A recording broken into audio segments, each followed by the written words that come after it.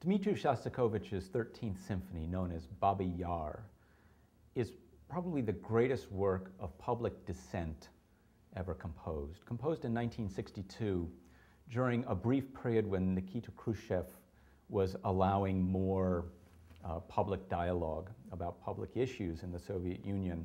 Uh, this piece actually helped close that down because the response from the public to the kind of material that Shostakovich and the poet Yevgeny Yevtushenko, whose words are said in the symphony, the kind of response that got from the Soviet public was just explosive and became something that the authorities couldn't tolerate. Uh, this symphony is an intense hour-long experience, uh, ultimately, in a strange way, uplifting, but it really confronts what life was like in the Soviet Union from Stalinist times down through the 60s. The first movement sets a poem of Yevgeny Yevtushenko called Babi Yar. Babi Yar is the name of a notorious ravine outside of Kiev in the Ukraine. This is a site where the Nazis massacred 100,000 men, women, and children in a short period in 1941. They were not all Jews, but most of them were Jews. And Yevtushenko's poem is an outcry against anti Semitism and about how anti Semitism is part and parcel of life in the Soviet Union.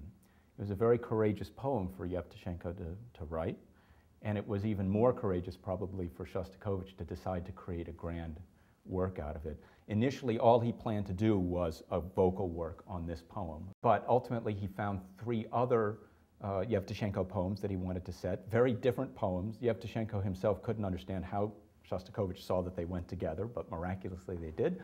And the poet provided yet a fifth poem to, to finish out this five movement symphony.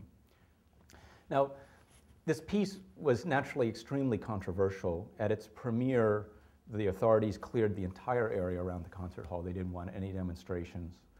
Um, artist after artist had canceled. Shostakovich had to keep asking new conductors, new soloists. At the last minute, the chorus itself tried to walk out on the performance because of all the threats they were receiving from the authorities.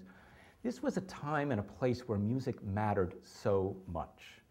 Um, when, when there's repression of what you can talk about, um, and when a composer really faces up to what's important in people's lives, it's an amazing moment for music, it, and it's almost hard to imagine that uh, here and now. Kurt Masur is directing these performances.